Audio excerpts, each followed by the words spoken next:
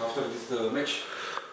One thing is uh, about the result, and, and other kind of things is uh, we have to talk about the, the game and, and the circumstance we, we had to to play. So uh, we played uh, a very a very good uh, first half. We conceded the first goal, but then. Uh, uh, we continue playing.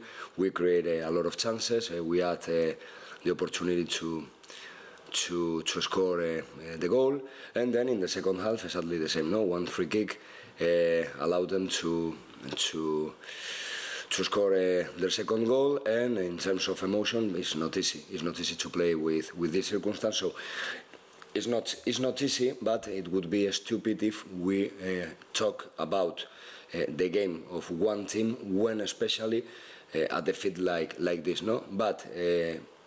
Uh, as a coach, I have to analyze uh, a lot of a lot of things, and uh, we completed an important game, an important game today. For sure, the result gives reason or not uh, to the teams who who, who won or the team who, who has lost. But in this case, uh, I'm completely sure we are creating uh, a good a good team, and for sure, uh, good results are are waiting for, for us. So we have the next challenge uh, on Saturday against Sepsi. So we have to to be to be ready. We have to prepare the game in the best way, and to be and to be okay. And for sure, we are gonna be in that way.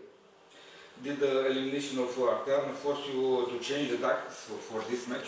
Yeah, for sure, because uh, we we we thought about uh, what we want to to create uh, Craiova problems. Uh, we got it a lot of times with uh, 10 players. So with 11, for sure, we, we could talk about other kind of game, no?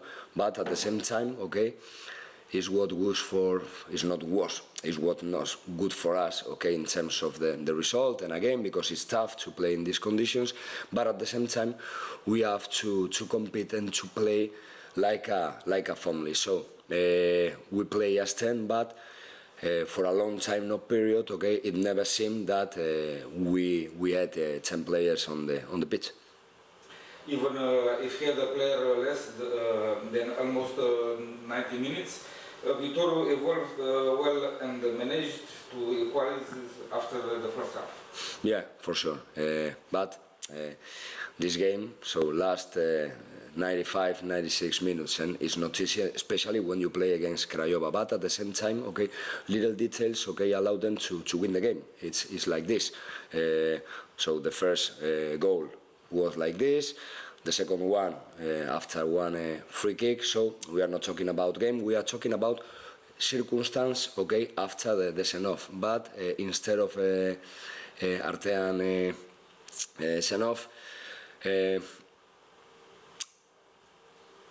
we showed some things we want to, to do during the, or, or against everybody, and we did it against one of the best teams of this of this country, like like Craiova is.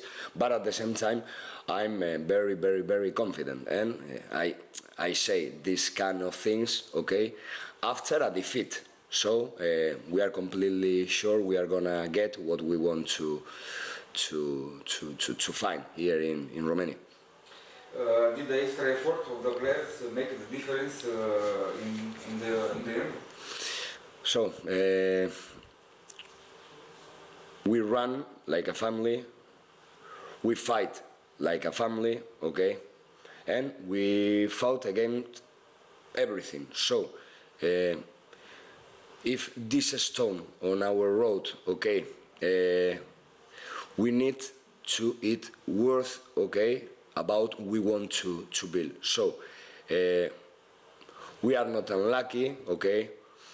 I cannot, I cannot talk, and I don't want to talk about nothing. We are completely sure about what we are building, and we need uh, to take off. And for sure, to take off, okay, it's necessary one one win.